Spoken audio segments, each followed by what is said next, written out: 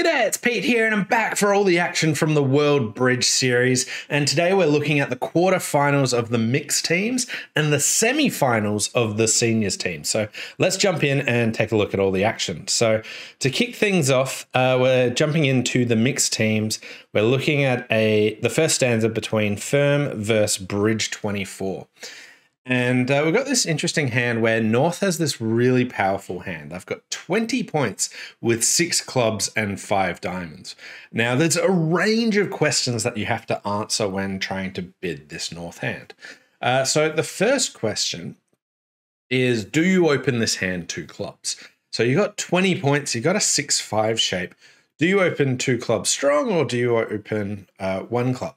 Now, I like the one club opening. If you open this sort of hand two clubs, two suited hands are really, really awkward to try and bid because think about how the auction would pan out. You'd open two clubs, partner would bid two diamonds, you'd bid three clubs, they bid like three of a major.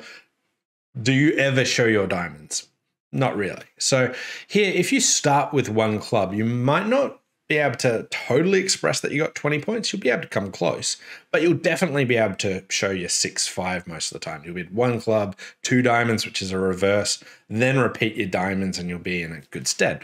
Now, here the auction didn't quite go to, to plan for firm. So they open one club and they get a takeout double. It goes pass and uh, there's a one diamond bid. So what do you do now? The opponents have bid your diamonds.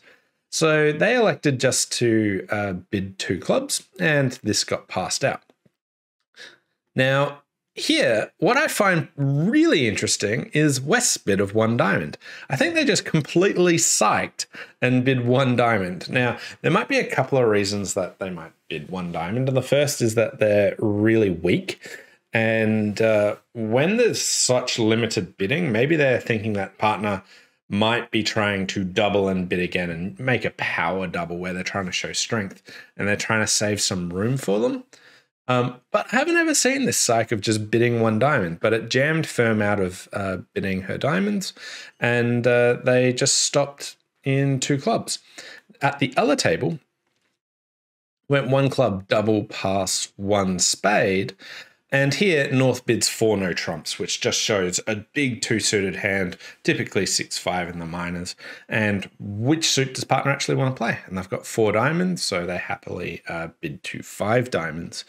And five diamonds loses to the king of diamonds, and it loses um, a heart, but uh, makes relatively comfortably. Um, so two clubs actually made all 13 tricks. Uh, so a rare score of plus 190 at the other table, but interesting bit of one diamond. Tricky how you actually handle this one. And then especially when the opponents actually bid your suit. So uh, we'll take a look at all the scores here. So this is one of the swingiest sets I have ever seen. So there were over 100 imps. There was 114 imps swung in this uh, 14 boards. That is just incredibly high imp turnover. Like these one imp boards look so incredibly flat. There's uh, doubled games making, there's redoubled games making, there's doubled slams going for 800 uh, and just incredibly dis- swingy set of boards there. So really, really interesting action throughout that entire set. But Bridge 24 came out ahead uh, by 18 imps. So uh, we'll move into stanza two, and now we'll jump over to the seniors. So here we're looking at Penfold versus Vetus, and uh, here it went pass and North opens one club, and East has this great eight card heart suit, just gets in there with four hearts, and it just goes pass, pass, and North makes a reopening double.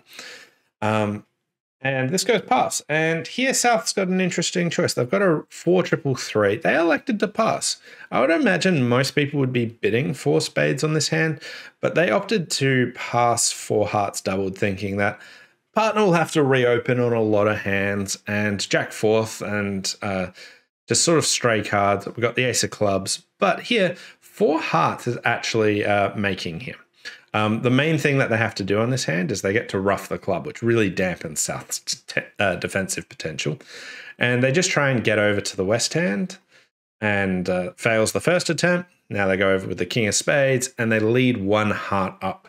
And at this stage, when the ace appears, uh, the jack third heart won't uh, cause any grief there. So uh, they wrap up 10 tricks.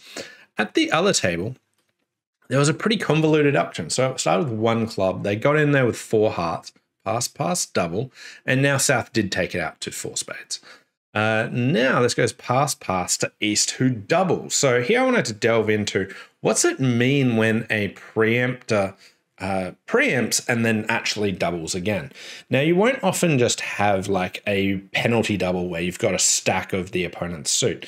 What most people use a double by a preemptor to mean is like, I've got a good hand and I'm interested in bidding on um, to potentially bid on to five hearts, or if you want, we can actually defend. Um, so that way you don't need to commit and actually bid to five hearts whenever you think and have a guess. You can actually incorporate partners' thoughts uh, into this. So they double here and it goes pass. And West are like, well, I have short hearts. I've got some uh, defense here, so let's pass. And North realizing that, well, I've only got three spades, they uh, opted to run. They bid four no trumps. And this is where they play. Um, now, here, uh, four no trumps uh, goes down, um, but if they found the cunning lead of a low heart or even a spade over to their partner's hand, they can beat this three tricks. But uh, they made the normal lead of a, a, top heart here.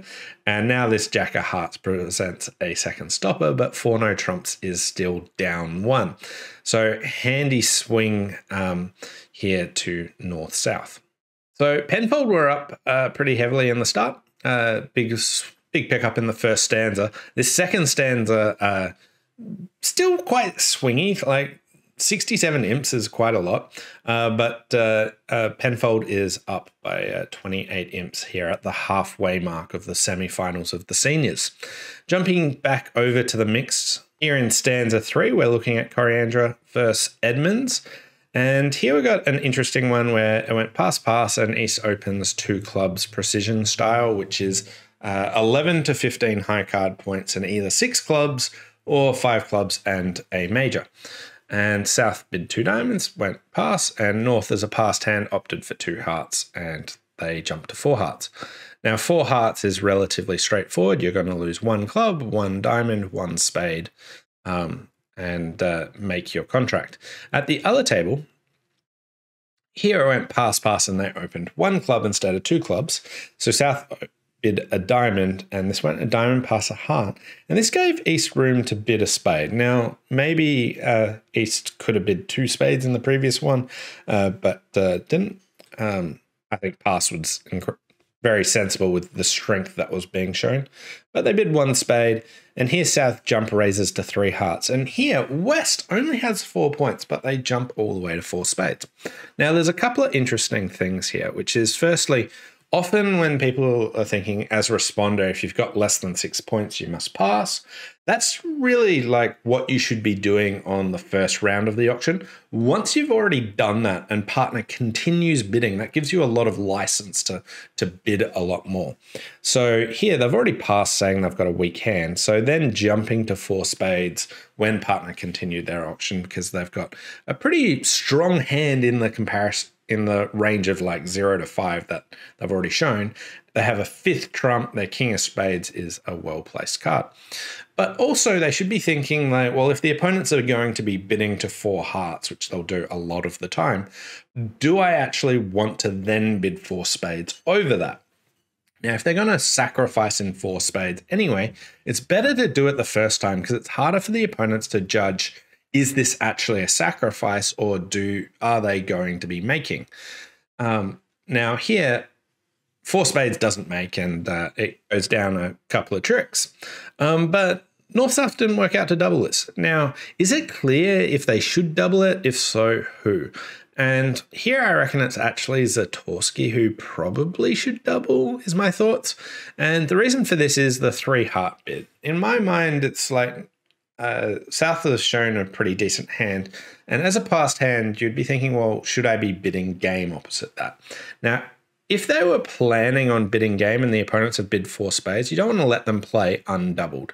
Now, it's a bit uh, harder with like partner just being an overcall and then a jump, and North just having eight points. They might have been thinking, I wasn't actually going to bid game, so we'll just leave it there. But if they were planning on bidding for hearts, I think they should be planning to double four spades just to get their insurance there. Um, the King Queen fourth club isn't particularly well placed, but they are defensive cards. Partners shown reasonable values. It's not clear that they're expecting to make. My gut feel is that they should be doubling, but it's not by any means clear. Anyway, uh, here, um, nice pickup for the four spades down to uh, minus 200 versus the 620. We'll jump into the uh, scoreboard. And Coriandra is extending their lead. They're now up 24 imps with one stanza to go. And jumping over to the seniors, final match of the seniors, we are taking a look at Zimmerman versus Goodman. So here we've got an interesting hand of how to deal with some preemption here. So uh, here both tables started with pass pass a heart double three hearts. So this this was duplicated at the uh, other table. Here East opted just to bid four diamonds. At the other table they uh, elected for a takeout double. Partner then said four hearts. I've got some extra values, but not really clear where to go, and they got to five diamonds. So Five diamonds goes down, uh, can be beaten one trick. Um, at the other table, four diamonds made. Now, it is worth noting here that three no trumps can actually make. Uh, you can get five diamond tricks, you can get one heart or one spade, depending on what the opponents do. And if you guess clubs, you can actually get three club tricks. Uh, so, three no trumps is a pretty tricky contract to actually uh, navigate to. And then a bit of guesswork needed to actually make. Uh, but notice here the preemptive raise, just with three high card points, but with the four card support, makes it really, really difficult for East West to find uh, the best contract here of three no trumps.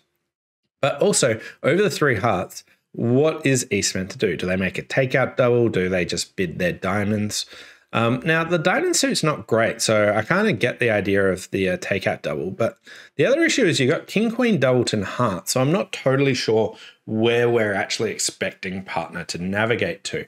I reckon if I had two low hearts and there's the chance that partner had the stopper in hearts, that like when I double, I want partner to potentially pass, to potentially bid three no trumps or find some good spots.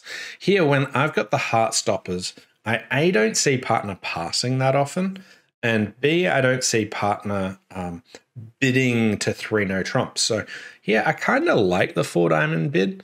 Um, it is worth noting that uh, if they just pass three hearts, you get two diamond tricks, two club tricks, a heart, and a spade, and get a nice plus 300 score. So if partner is to actually choose to pass, uh, which is like a pretty volatile choice looking at uh, this West Hand. Uh, it would work out quite well as well. Uh, so here we'll take a final look at here. So in this stanza, uh, Goodman had a great set, picking up 26 imps over Zimmerman uh, to finish quite convincingly.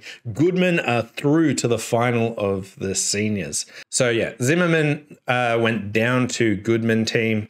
Um, so Goodman are into the final. Uh, that's David Berkowitz, Andy Goodman, Mark Laird, Jeff Meckstroth, and Mike Passell. In the other semi-final, uh, Vitas uh, beat Penfold.